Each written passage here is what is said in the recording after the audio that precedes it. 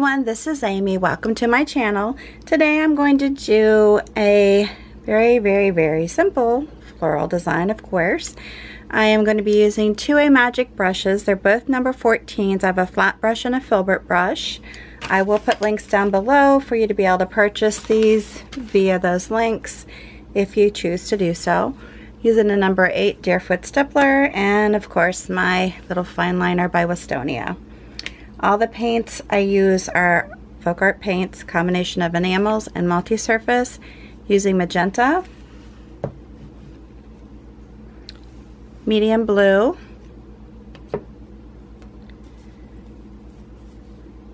French blue, and cerulean blue. I will also be using Thicket, Happy Green, and wicker white. All right, let's go ahead and get started. I am going to begin by using my filbert brush and I'm just going to be dipping it into the different blues. You can do blending strokes if you want, but once again, I don't really want it to be you know, real regimented as far as the design goes. I just like it to turn out and be the color that it ends up being once I do this. But anyhow, I'm going to go ahead and push down. I'm going to pull and then raise up and turn my brush as I go. Also, when you're doing this, if you want to add in some white, you can do so. Alright, so just doing just quick little, little strokes. Push down, pull away. And then I might come back over here and do one and pull it away from there. Now again, if you feel like you're seeing it not be as opaque as you want it to be, then go back over it. Always can add white. That has definitely helps with it, making it more opaque. Or you can let it dry for a little bit and go back over it with a second coat. Up to you. Alright, so we're to come over here, do the same thing, and I just keep touching my brush into the paint as I go. Come up like that. If you're new to my channel and you have any questions, please put those down below. Before you leave, if you would take a moment to share my video, I'd appreciate it. And also subscribe. Comments down below if you have any questions. I will do my best to get back to you. And I'm just going back over these a little bit as I'm working on it. Not a biggie. All right, gonna set this aside. Next thing I'm going to do is take my Deerfoot Stippler and I'm gonna stick it into the tea berry. Or no, magenta, actually it's magenta, I'm sorry. I was thinking it was tea berry. Magenta. And I do apologize, I am left-handed, so my hand a lot of times will get into the video and cover what I'm doing, so I'm trying to work on that the best I can, but just pounce it in. You just want to like a circle or oval, up to you. And just loose. Don't doesn't need to be anything real structured, just a loose painting. And then I'm going to tip the back of my brush into the, the white, the wicker white, tap it off a little bit, and then come back in here, add a little bit of the white to the base here. Kind of tap it off and then come back in here, just blend it in a little bit.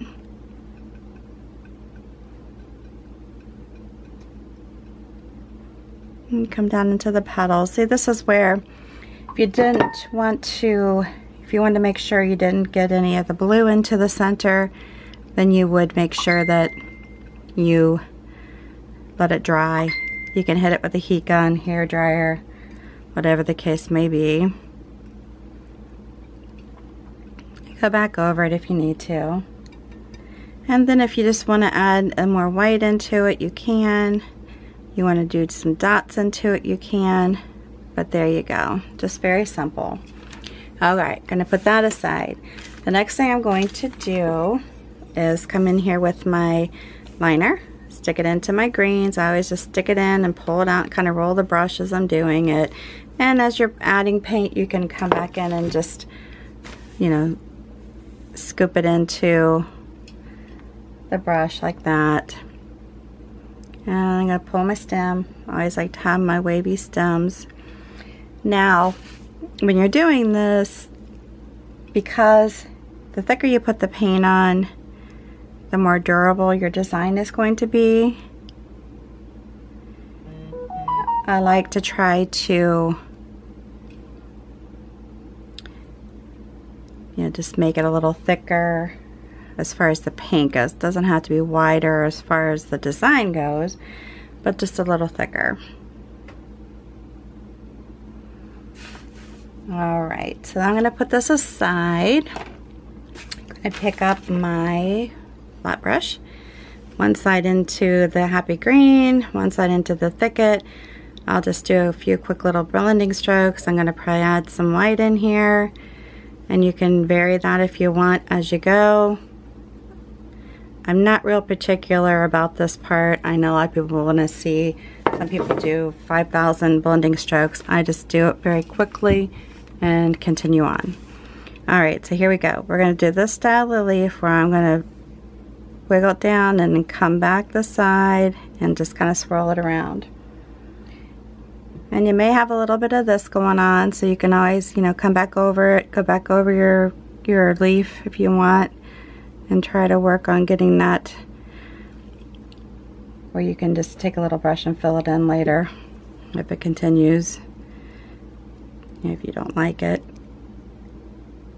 The only problem with doing this kind of flipping and such on glass is that, you know, a lot of times it will pull stuff back up so you may have to go back over it.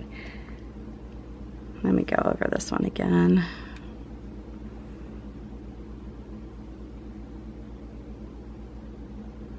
Adding a little bit of white into there actually helped make it a little bit more stable. All right. I'm just going to go through here and just continue doing this type of leaf.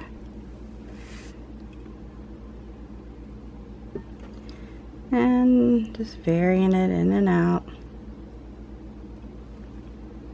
You can always, like I said, take a smaller brush even and come back in. Gonna add a little bit more white to this.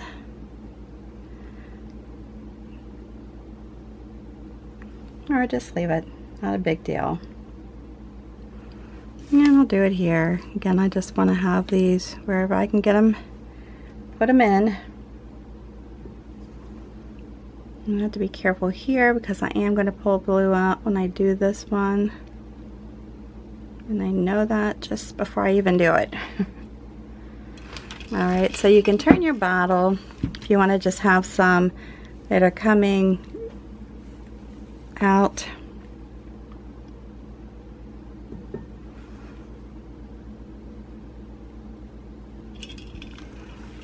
This coming.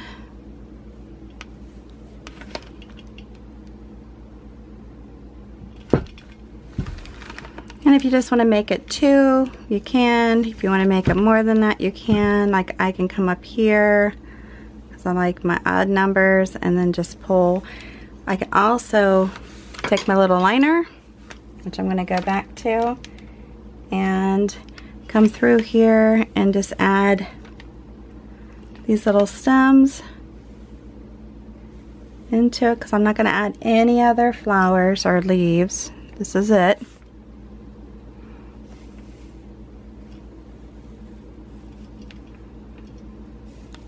or you can just use the turning of the leaf as you know the connection to the stem it's up to you very easy. Very very easy. All right we are finished. I hope you liked this video. If you do make sure you give me a big thumbs up. New to my channel please subscribe hit that notification bell. And prior to leaving, if you would go to the bottom of the video, hit the share button, and that will give you the options of where you can share it on your social network with your family and friends. I would greatly appreciate it. Until the next time, please stay safe and healthy, and you have a good one.